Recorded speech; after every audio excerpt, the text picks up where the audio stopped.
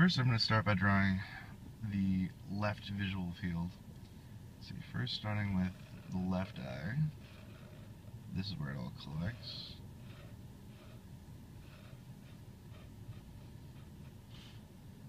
Then it comes back a little bit. Then starting with the right eye.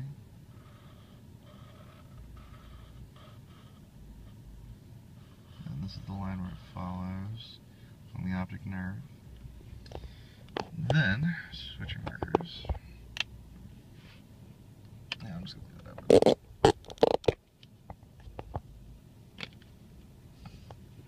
Then, the right visual field, and where it follows, still on the same nerve, I'm just separating them so that the Sharpies don't destroy themselves. And then the right visual field,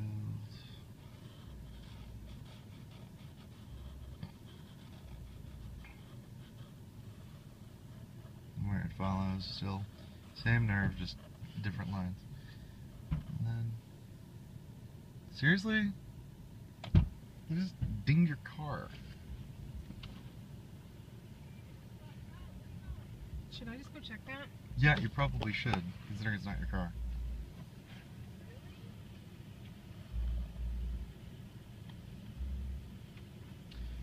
And then here is where it comes into the optic chiasm, the crossover happens. Currently doing this inside of a car that just apparently got tapped. Anyway, moving on. The crossover happens, so the right visual field moves to the right side of the brain from the left eye. And then the left visual field crosses under meet up with the left visual field from the left eye coming out from the left visual field of the right eye.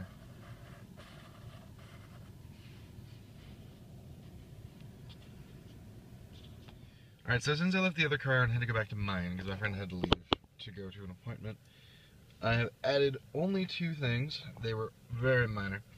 I added the visual field left, right labels. See, because orange starts here, but then gets projected here. So that's the right half of the visual field. And then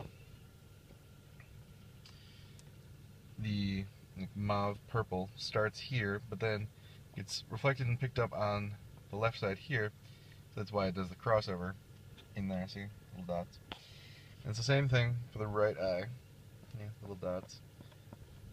I thought of this after I'd already written my name at the top, and I'm working in Sharpie, so it's a little bit difficult, but you know, hang on with me. And then see, little dots. Orange goes there, there. Make it bigger because it's kind of hard to see that. All right, cool. I apologize. I have a cold. All right, so that's how you know that's why it's there, and then so you have the right visual field going back down the optic nerve. Let's see, label that. I'm going to label that in the mauve just because it's easier to see. Optic nerve. Left. Right. And then let's see I'm gonna delineate this.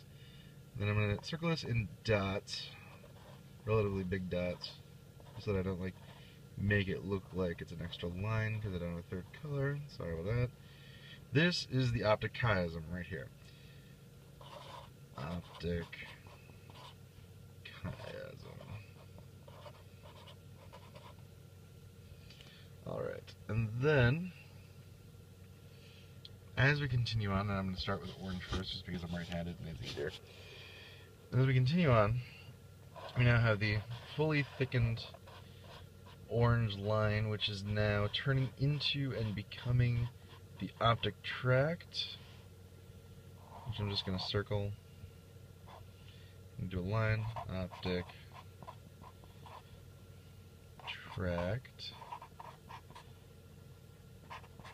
right, and then, at some point, it turns into the lateral geniculate nucleus, where everything begins to be processed in like this little nodule looking thing.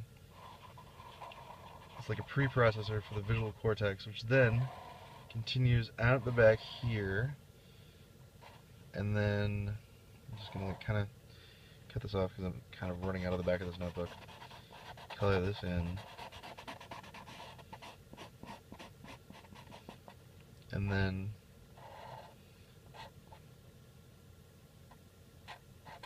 do some arrows to visual cortex. Let's see. And then it continues in the same way with the left side, with the left visual field, and you know, left visual nerves and all that. See, from the optic chiasm, fill it in a little bit better because this is weird, by the way, drawing while looking through a phone. I'm using my phone for this because my digital camera decided to die two weeks ago. And I don't see the point in buying a new one. Alright, then we have, yet again, another optic tract. Optic tract. This time it's the left one. And then it, in a similar way to this, oh, I forgot to label that.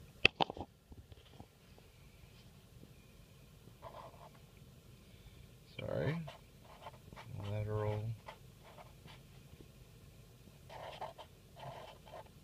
Geniculate.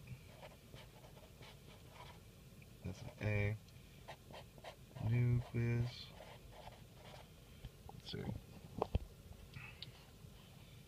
And then this one does a very similar thing where it has like, I'm to represent this as some kind of like weird snail turbo scroll thingy where it just kind of goes up and it's weird and does stuff.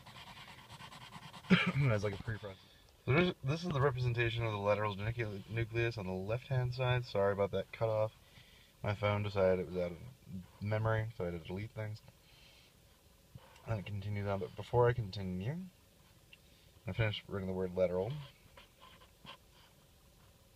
Geniculate. L-E-T-E. Nucleus.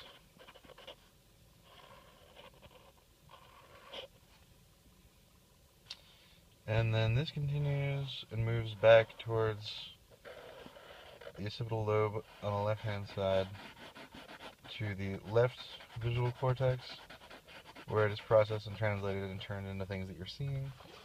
And I'm going to label that. So awkward.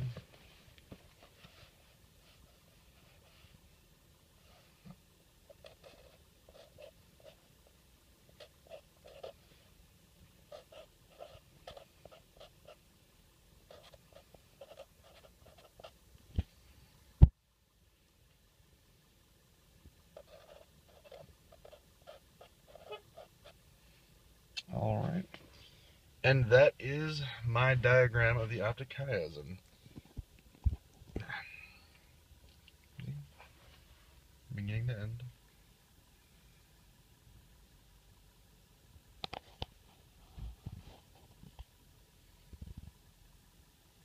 Very informative. Plus now I have it with me all the time.